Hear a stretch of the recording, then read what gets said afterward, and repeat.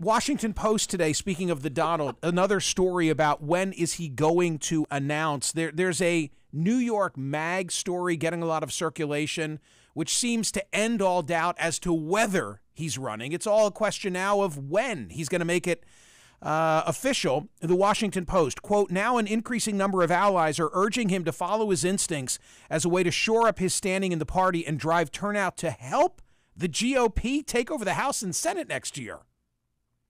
It all becomes a referendum on him. I think it would be I think it would be a huge mistake for Republicans if Trump were to announce before the midterm. I've made that clear already. I guess from Trump's perspective, he thinks that this this red wave is so big that he may as well be a part of it and then he can claim it's all because of him. When he'll announce, we'll soon find out, I guess. But it seems like he's definitely going to uh, to do it.